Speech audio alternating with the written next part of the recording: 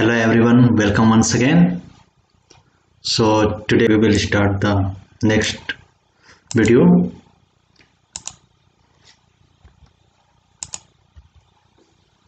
Okay. So let's quickly move to the content.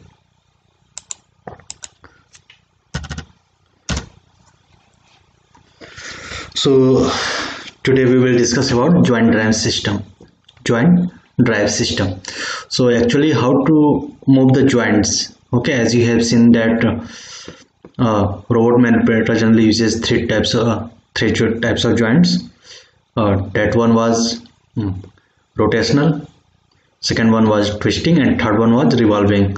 And two types of translation translational joint uh, namely linear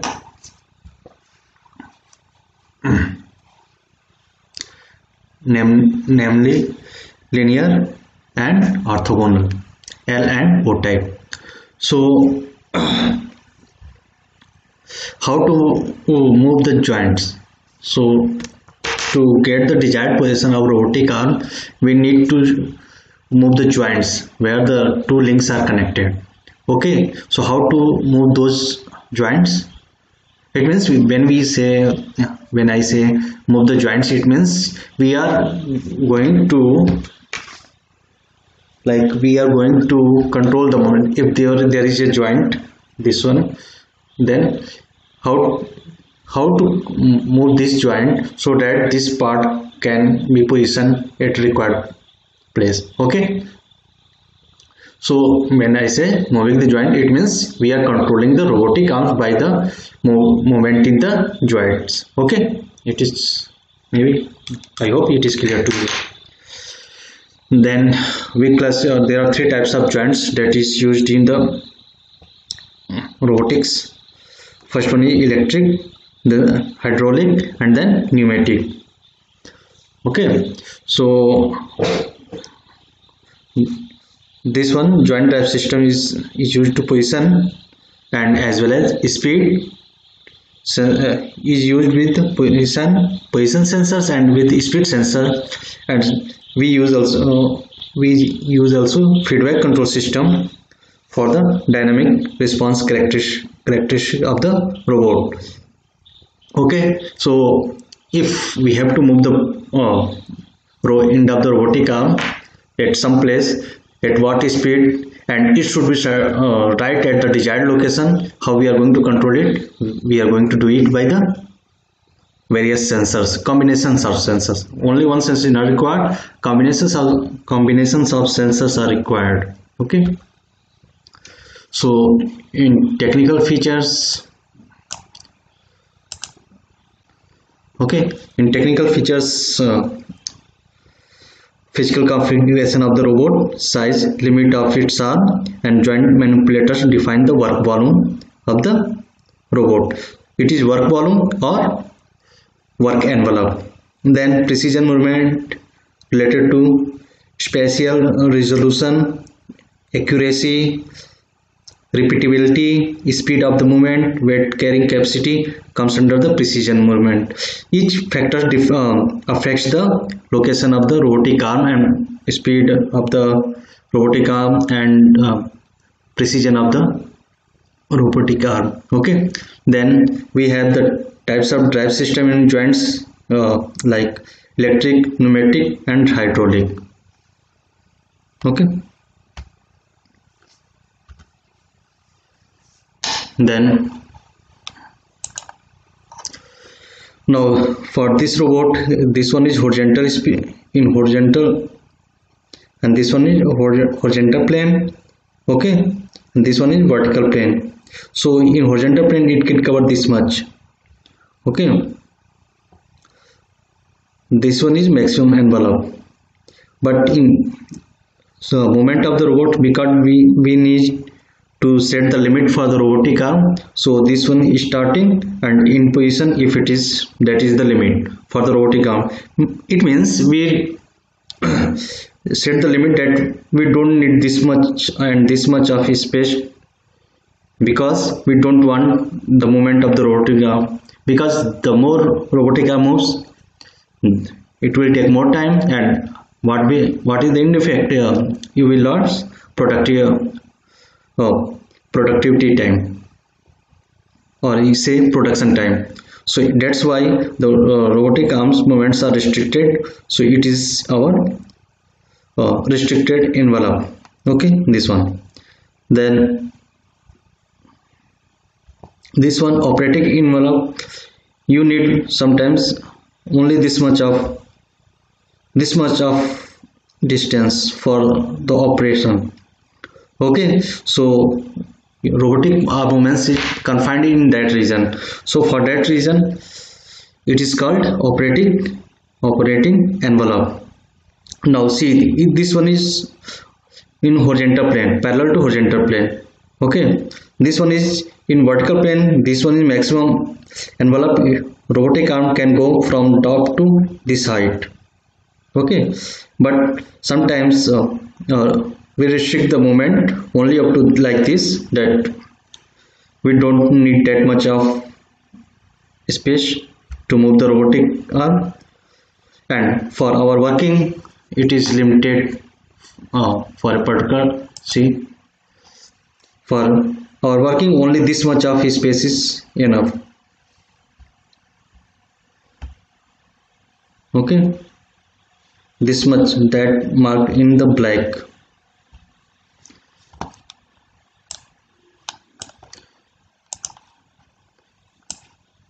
this one marked in the black that is our working or operating envelope.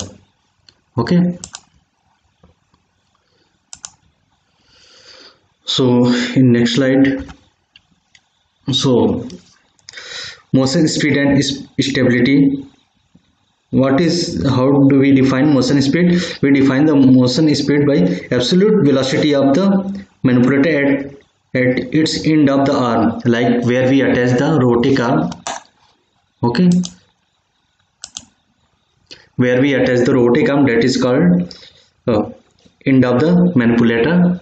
So that we de define the absolute velocity and based on that uh, we define the motion speed of the robotic arm okay next maximum speed for large robot it is generally two metre per second for large robot then again speed can be program to work cycle it means what is work cycle it means you have to pick the part from here you have to take it up to this side then you have to put transfer it here then you have to put it here somewhere.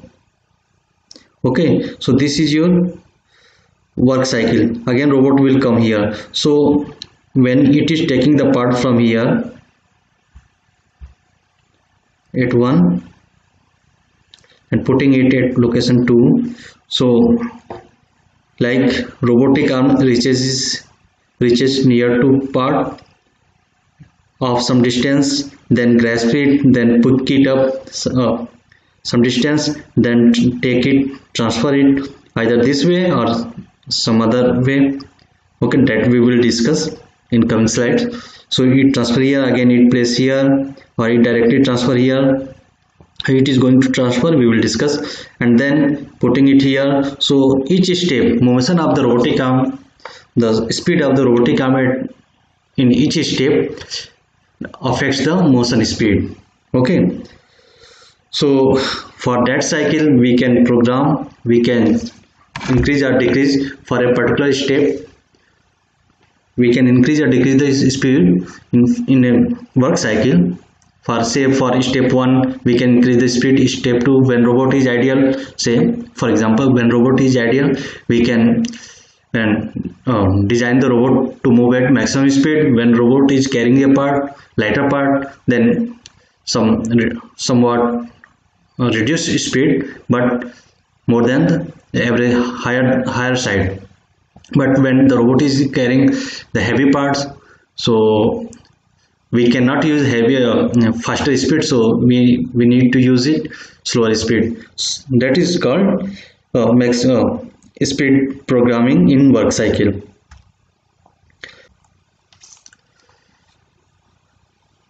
Then we have you know, acceleration and uh, uh, deceleration in controlled manner. It means uh, acceleration and deceleration in controlled manner. It means if the robotic arm is moving okay?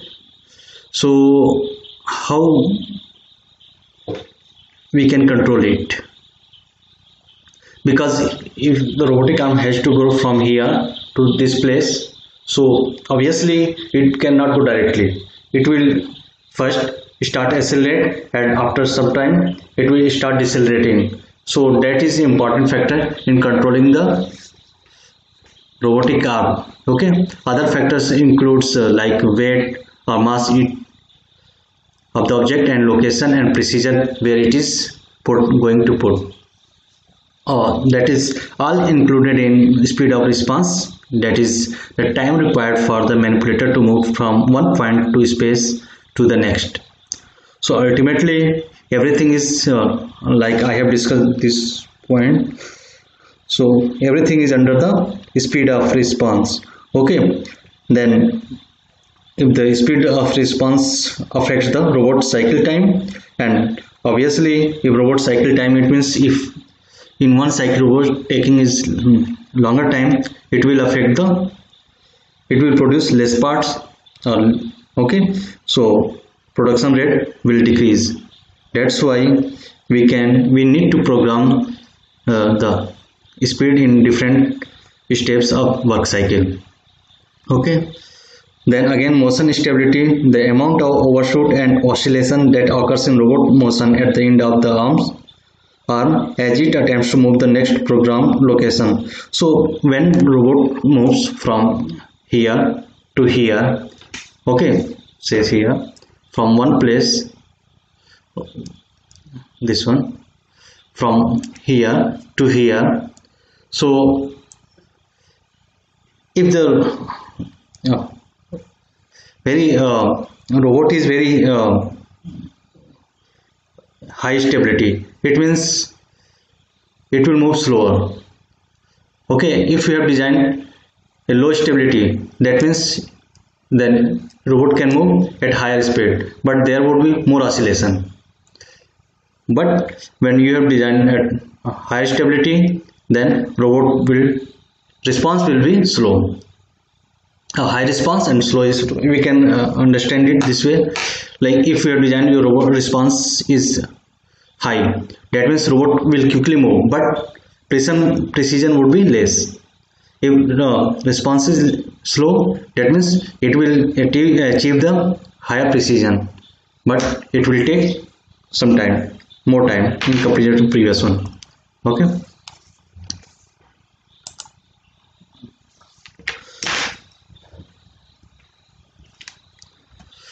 next uh, load carrying capacity. Load carrying capacity as you know uh, based on the robot physical size and construction. Okay? So force and power that can be transmitted by, to the end of the wrist. Here this one is wrist. This one is the wrist. Okay? So here what you are going to attach, attach uh, affects the load carrying capacity. If this one is uh, wrist is uh, uh, having higher weight that means you can uh, transfer less weight. Okay it can handle less weight. So for uh, commercial robot it is weight is generally we carry the weight 1 k 1 kg to 1200 kg and for medium size industrial application it is generally 60 to oh, 10 to 60 kg. Okay. Then one important factor that is robot works with the tool or gripper attached to its wrist. It means like i told you that we use gripper.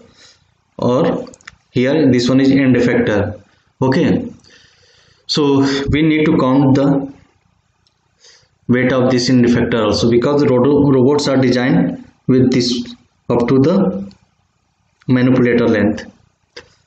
So if this one is like in this particular example if we, we have designed for the 10 kg mm, weight of the gripper that means if the gripper weight is 4 kg then and we have designed for maximum 10 kg then and gripper weight is 4 kg. Then we can carry only 6 kg of the weight by this gripper it means higher the weight of the gripper lower the load carrying capacity under the design limit. Okay?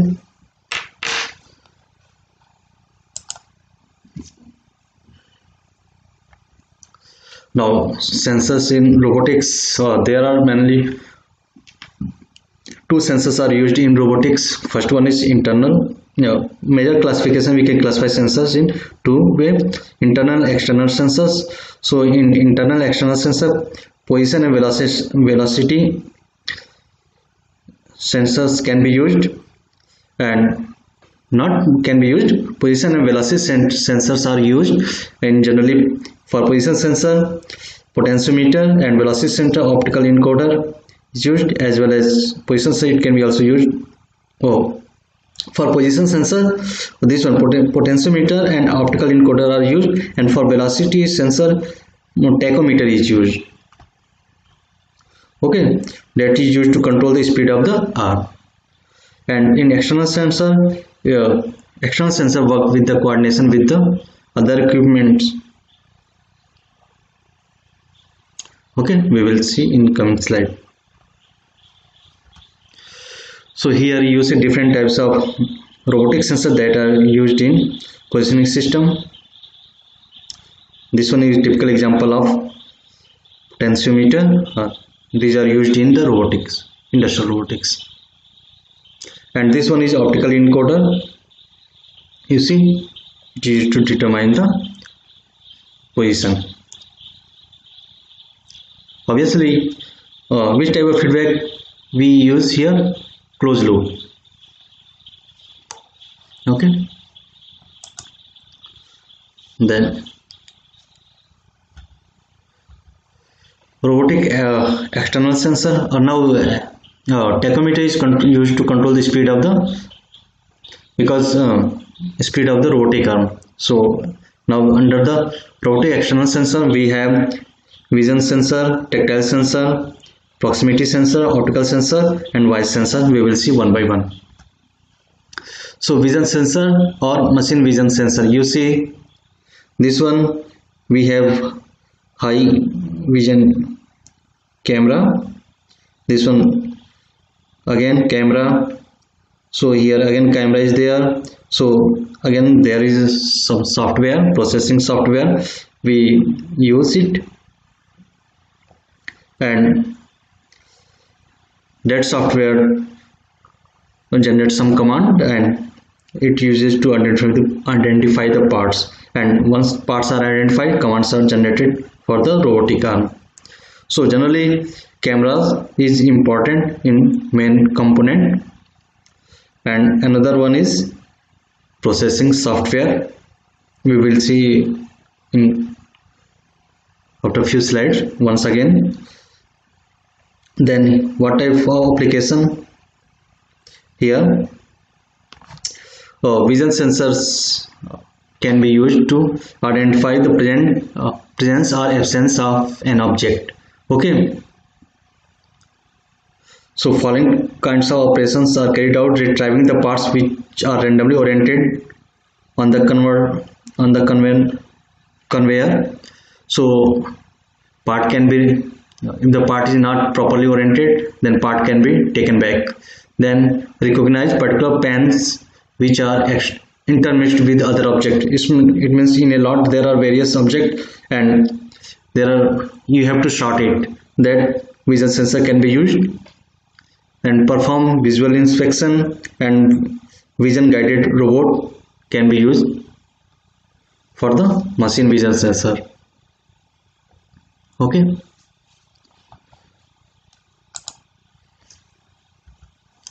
now you see here robot is robot is there. So robotic robotic arms are working. Okay so they are preparing a robot. Can you guess the this image?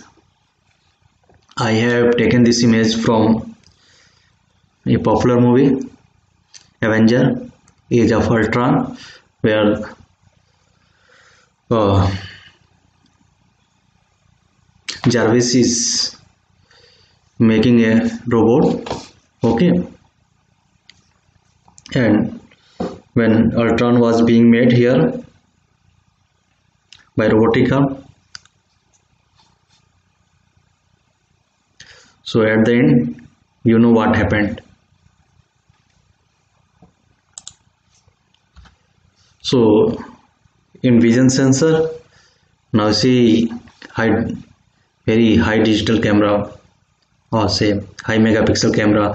This one is from is the design of the Iron Man cameras. Okay. So you see what is written here 345 okay. Two times zoom. Here in Iron Man camera it can measure the distance 345 meter this one. It can measure the distance like this. So that is the technology Iron Man using in vision. What about this? Vision is for standing against the Ultron. Vision is uh, teaching the concept of life error and positive side of, of negative and positive side of human life.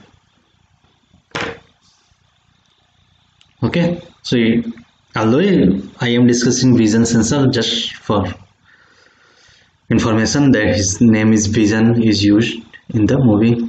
And as you know he was able to tell that 1 in 14 million iterations only one time that Iron Man team is able to win. And in next movie what we have seen. So next we are having the tactile sensor. So tactile sensor provide the robot with the capability to respond to contact forces. There are contact forces or touch. Okay. So these are the here. You see sensors at the end of the gripper. Sensors are there okay small form. Now you see if the there is any contact is made. The signal is generated. Okay. And and robotic can respond to the to that signal. So contact uh, tactile sensors are two types. Touch sensors and force sensor. Touch sensors uh, mainly tells us that uh, a contact has been made. Like this one and uh, if there is a sensor on my finger. Okay? So if i am as soon as i am touching it it will generate a signal that contact ha contact has been made. Okay? And in the force sensors generally used to measure the uh, required amount of force. So say you need to grasp it like uh, 0.5 newton force to pick it up a article. So gripper will collect it and it keep applying the force until the end effector uh, reads the 5.5 uh, newton force. So as soon as the 0.5 newton force reaches here here okay then computer generates next signal and robotic arm moves. That is called force force sensor. So strain gauges are used for force sensors so it is particularly useful in inspection touching sensing would be useful in gauging operation and dimension measuring devices activities. Potential uses of robot with tactile sensor capability would be in assembly and inspection operations. We can use it is used. Then now for the tactile sensor you can understand here there under the cover different sensors are there. Okay and there is sensor in the form of transducers. So when you touch this sensing element and due to wiring this one is flexing flexible element. Okay. Again this way this way. This can be used to measure the force as well as uh, identify the contact has been made. Okay so for particular if your objective is only to touch sensor that means you are not going to measure it. It is quite easy for you. If your objective is to measure the force then you have to design according or you have to use as per your requirement. Then proximity sensors uh, are used to sense when one when object when one object is close to the another object on, on a robot the proximity sensor would be located on or near the end effector.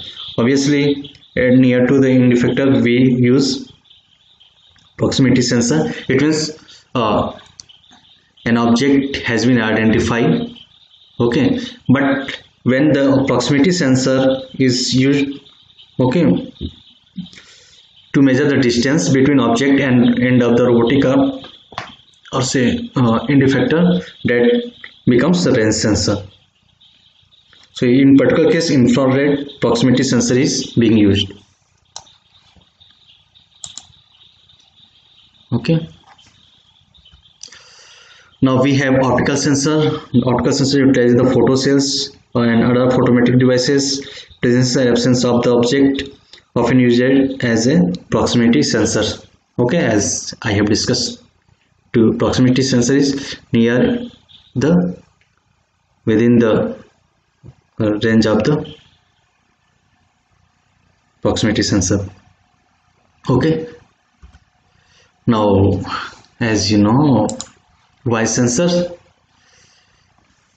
robotic uh, robot robotic arm respond to the voice okay. So we need to record the voice and based and voice programming is there okay? So in voice programming we give oral communication of the command to the robot of the other machine. Okay? Robot control is equipped with the speech recognition system with the analyze the voice input and compares it with the set of stored word patterns. Okay? When a match is found between the input and the stored vocabulary word the robot performs some action and correspond to that now you would be knowing this one is a this response it can talk with you. Asimo robot you would be familiar with this character not this character this robot very popular robot. Okay so this one is Sophia citizen of Saudi Arabia. Yes citizen of Saudi Arabia. She has she has been given a citizenship of Saudi Arabia. Okay so Sophia can talk with you can take the command. Okay.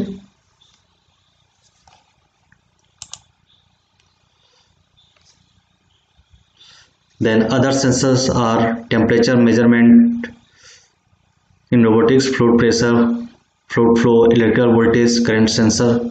This can be used in the as per requirement so robot control systems consist of personal computer the robot controller is there then teach pendant where we this one is used to teach the robot and then remote manipulator force sensor are in attached here has been attached here vision sensor camera is there robot communicate with the robot controller again vision sensor communicate with the robot controller and with the teach pendant you control record the program in robot controller and ultimately you you generate the signal robot controller and that signal is stored in the personal computer and then those signal is used to play back for the perform perform the robotic manipulation. Okay?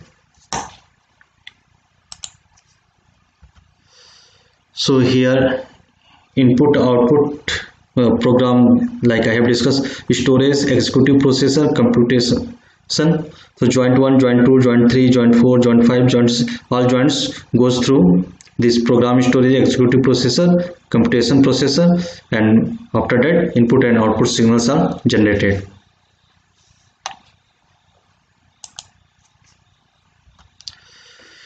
so this one teach pendant is for means of programming external feedback in the robot controller external commands comes in the robot controller then robot controller is there and power supply is there. Power supply is given to this robotic manipulator then from robotic manipulator feedback comes and from robot controller commands goes. From in controller we again get the feedback and again from based on that again to end effector feedback goes. So ultimately we uh, control the motion or position of the end controller. Uh, I will discuss uh, this one in next video because video is getting longer. So I am finishing here. And thank you very much. I hope you will like this video also Thank you.